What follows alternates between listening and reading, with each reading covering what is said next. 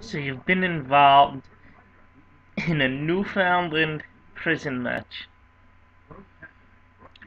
Gee, how did the guy win? Fuck the other guy up the ass? Hmm? Is that how it happened? Huh? You you post comments saying, you know, you're done, you're not gonna do this, and then you make another fucking video.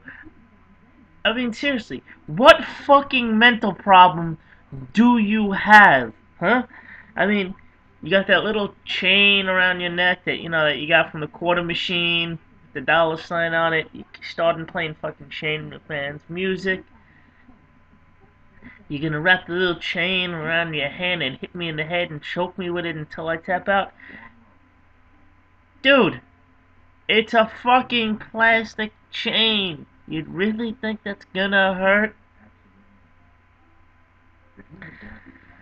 I gotta tell you, you uh, know, it really was good evening. Because I thought your shit was done. Then I wake up this morning and you're back. You're back being the same fucking douchebag you always were. I mean,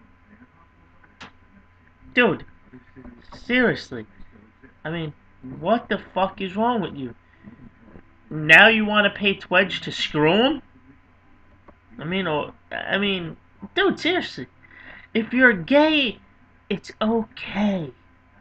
Really, it is. Because, you know, I've heard stories about you, you people up in Canada, but that has nothing to do with this. Tables, ladders, and chairs.